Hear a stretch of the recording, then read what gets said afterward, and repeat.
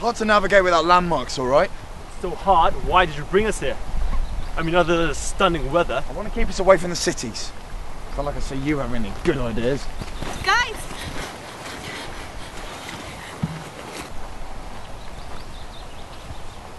You're stopping because your girlfriend's tired. You need a rest. No. It's What fine. if- It's fine. All right, we'll make camp here. Benji, start getting the tents up, right? When Kerry's better, she'll help you out. Ted, get a fire going. Get some food on the go. Who put this guy in charge? I'm gonna have a look round. Just make sure no one's about. Here, take this.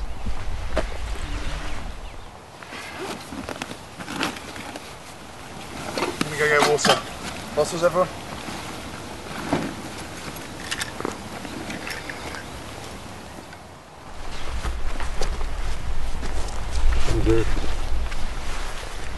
I'm good.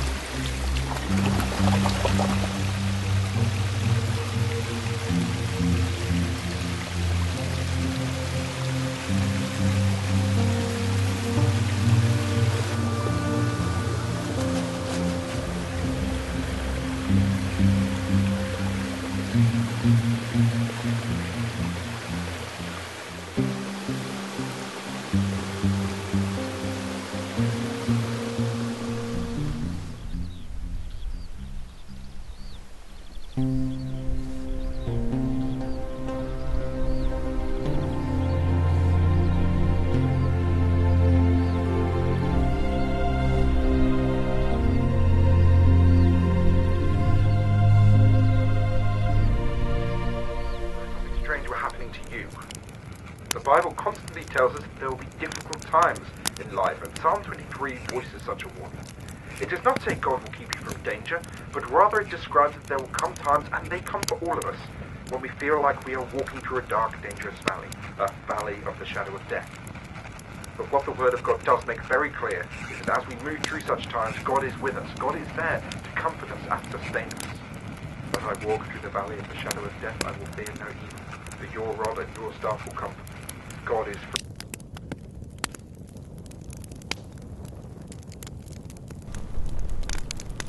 Well, look who's back.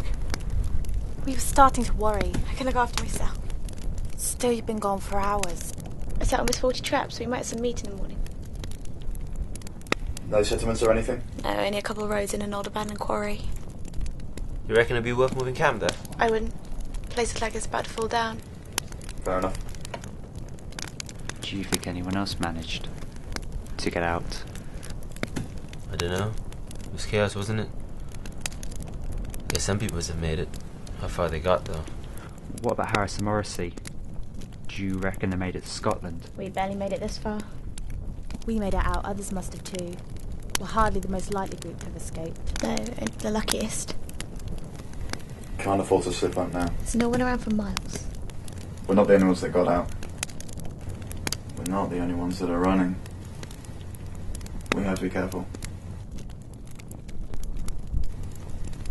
We need a sentry. Sentry at all times, all through the night. Three people per night. That way, two people have their nights off. That makes sense. We wouldn't want to be jumped while we sleep. I'll take first watch. Guess I'll take second. Don't fall asleep, alright? Yeah, bench. Cheers. How much is that now?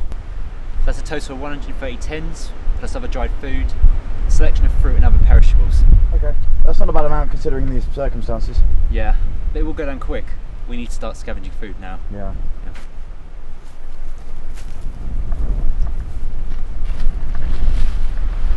Here's dinner.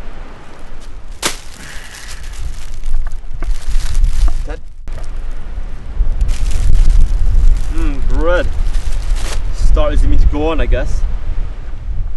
We're gonna have to start rationing soon. We don't know how long we're gonna be stuck here. How long do you think it'll be until we get to go back? I don't know. Six months? A year? Don't even know if there's anything to go back to. Right, set all the traps. There's quite a lot of rabbits around actually. We might be able to get one quite easily. Sweet. How long do you mean to go on? Does anyone actually know how to gut a rabbit? We could look in the survival book. Keep your book. I know what I'm doing. First, you snap the rabbit's leg. And you take your knife out. You cut the leg, cutting through the skin. You back the skin all along its body up to the skin. Cut What's the matter? Did Ted just pull that knife from his boot? Yeah. So what? I'm not too keen on that. It doesn't seem safe. What if one of us gets ambushed? We need to be able to protect ourselves, Kerry. I really don't think it's a good idea. I know. I know. I'll make sure that everyone is responsible. I promise.